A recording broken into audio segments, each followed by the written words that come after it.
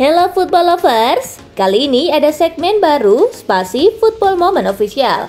Seperti apa pembahasan kali ini? Yuk kita simak bersama-sama gengs. Selamat PSG juara Ligue 1 musim 2021-2022. PSG memastikan diri jadi juara Ligue 1 musim 2021-2022. Kepastian ini didapatkan usai laga kandang kontra Lens pada pekan ke-34 di Parc des Princes, Minggu 24 April 2022. PSG bermain seri 1-1 menjamu Lens. PSG unggul lewat gol spektakuler Lionel Messi dengan tembakan kaki kiri dari luar kotak penalti di menit ke-68. Lens membalas melalui gol pemain pengganti Corentin Jen di menit ke-88. Sebelum laga kontra Lens, PSG hanya membutuhkan tambahan satu poin untuk mengunci gelar juara. PSG memang gagal mengalahkan Lens, tetapi hasil imbang ini sudah cukup bagi mereka untuk memastikan diri jadi juara. PSG saat ini telah mengumpulkan 78 poin dari 34 pertandingan. Perolehan poin PSG sudah tak bisa dikejar oleh Marseille yang berada di peringkat kedua dengan 62 poin yang masih akan main tandang kontra Reims Senin 25 April 2022. PSG pun mengunci gelar juara Liga Prancis musim ini dengan 4 laga tersisa. Musim lalu gelar juara diraih oleh Lille, sedangkan PSG finish di peringkat kedua. Musim ini PSG merebutnya dari tangan mereka. PSG sebelumnya telah 9 kali menjuarai Ligue 1. PSG menjuarai liga tertinggi Prancis itu pada musim 1985-1986, 1993-1994, 2012-2013, 2013-2014, 2014 2015, 2015 2016, 2017 2018, 2018 2019, dan 2019 2020. Gelar musim ini adalah gelar mereka yang ke-10.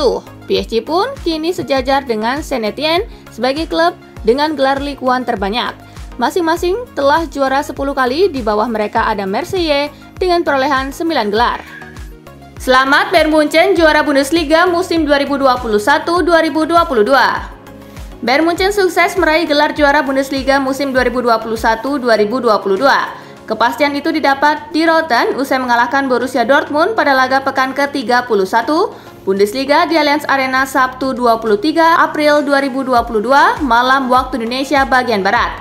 Bayern mengalahkan Dortmund dengan skor 3-1. Gol-gol pasukan Julian Nagelsmann dicetak oleh Sergei Gnabry, Robert Lewandowski, dan Jamal Musiala. Sementara gol hiburan untuk Dortmund dicetak Emre Can dari eksekusi penalti. Hasil ini cukup untuk membawa Bayern Munchen meraih trofi Bundesliga musim 2021-2022. Sebab Bayern kini telah meraih 75 poin. Mereka unggul 12 poin dari Dortmund dan hanya 3 laga tersisa untuk dimainkan kedua tim. Begitu laga melawan Dortmund usai, para pemain Bayern segera menggelar pesta di lapangan. Ini adalah momen juara yang tepat bagi Bayern. Mereka juara di depan pendukung sendiri dan mengalahkan sang rival abadi. Gelar juara Bundesliga musim 2021-2022 sekaligus menegaskan dominasi Bayern di ajang Bundesliga. Sebab ini adalah gelar juara ke-10 secara beruntun yang didapat The Bavarian. Dominasi Bayern dimulai pada musim 2012-2013. Ketika itu, Bayern menjadi juara dengan meninggalkan Schalke yang berada di posisi kedua.